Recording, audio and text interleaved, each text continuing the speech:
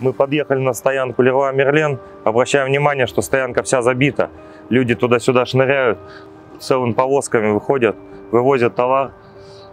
Сотни людей, Со- социальная дистанция не соблюдается.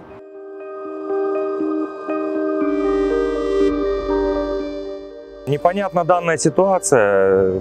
Получается, что таких крупных ритейлеров, как Леруа Мерлен, не штрафуют. Они могут свободно работать открыто, занимая гигантские площади. А сотни субъектов малого бизнеса вынуждены сейчас терпеть убытки. Тысячи людей фактически остались без работы, без средств существования. Почему мы наблюдаем такую картину, что крупные сети функционируют, а обычные люди вынуждены сейчас закрываться, терпеть убытки, увольнения? Может быть, потому что продавили нашу власть? Обращаюсь к чиновникам. Хватит уже давить мелкий бизнес. Дайте людям свободно работать.